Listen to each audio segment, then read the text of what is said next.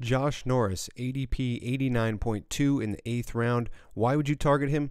Goal production last year, very good. 35 goals. That's a .53 goal per game pace.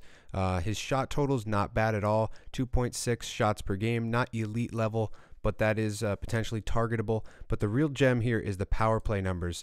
So 0.34 power play points per game. That's 23 power play points last year. And of those 23, 16 were power play goals, which ranked him tied for third in the league with guys like Matthews, Rantanen, Ovechkin, Duchene, Reinhart, Stamkos. So he's in elite company there, uh, and he does uh, have a nice power play unit this season, uh, just depending on who they add to that unit.